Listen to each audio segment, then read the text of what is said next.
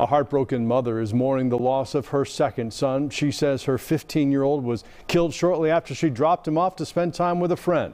Police say the teen and an adult were both shot Saturday afternoon in southwest Atlanta. Fox 5's Janice Yu has details. This is the second son Belinda Oliver has lost to violence. She says she's still coming to terms with the death of her oldest son, and now she's getting ready to bury another one.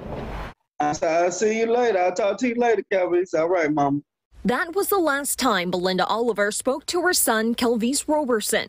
She dropped the 15 year old off to hang out with an older friend Saturday afternoon, and she drove to work. Before I get to work to clock in, they called me and told me my son was on uh, shot. When Oliver got to Grady Memorial Hospital, she learned her son was dead. Atlanta police say another man was shot but survived. Investigators say the shooting happened on Windsor Street in southwest Atlanta. They say it likely happened during the sale of a gun between people who knew each other. Police have not announced any arrests. How could you be so cold like that? I mean, that's a 15 year old, that's a child. Like, what, what that he did um to you all that really make you want to shoot them in the back of your head like that.